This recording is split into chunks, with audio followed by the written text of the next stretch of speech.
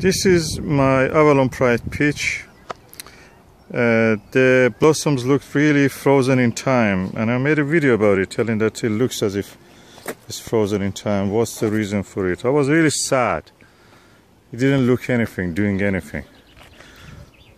Oh, look at it now. look at this. This is the fruit, the woolly fruit of a medlar. Uh, sorry, peach, Avalon Pride. I made a video about medlar just before this. So, look.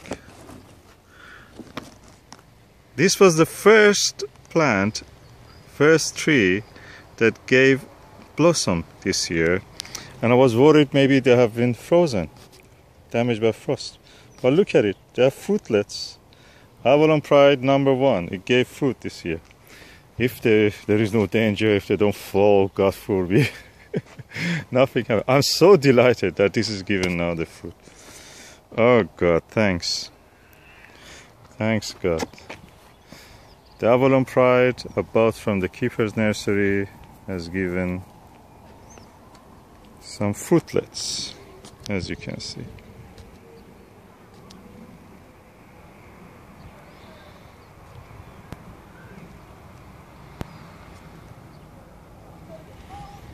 Lovely. I like it. Beautiful day. Sun is shining and everything looks better. The fruits appearing.